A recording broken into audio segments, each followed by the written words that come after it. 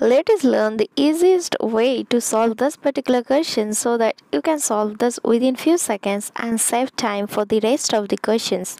So here it is given. A sum of rupees 7560 is divided between a b and c such that if their shares are diminished by rupees 400 rupees 300 and rupees 260 respectively then their shares are in the ratio 4 is to 2 is to 5 what is the original share of B? According to the question, the total amount which is to be divided among A, B and C is 7560 rupees.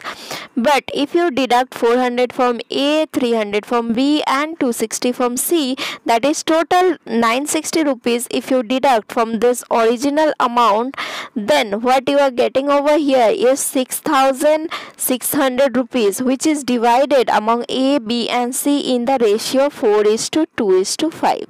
So this 4 plus 2 plus 5 which is in total 11 in ratio is equal to 6600 rupees in actual that is 11 multiplied by 600 you are getting the actual value.